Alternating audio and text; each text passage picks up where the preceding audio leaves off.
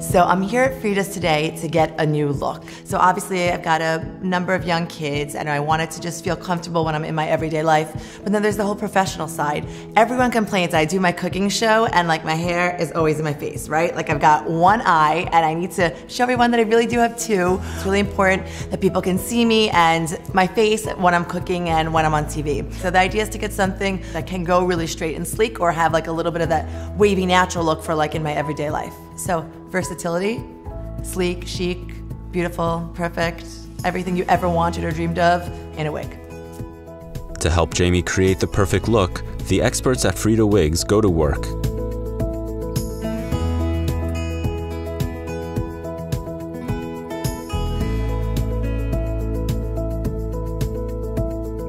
So this is my new wig and I just love it. I love that it's like a little shorter and a little chicer and just opens up my face a little bit. It's so light, it's so easy to wear. I love the little light color, how it gradually gets lighter at the bottom and a little bit more blonde.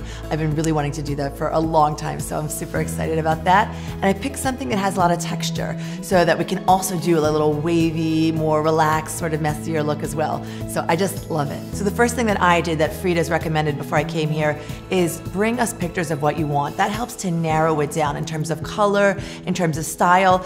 The next thing is understand your needs, what you need it for. And I think all of those kinds of things can really help you and narrow it down. And then just my number one piece of advice is go to Freeda's. They will take care of you. I'm telling you, the experience is amazing, 100% the best.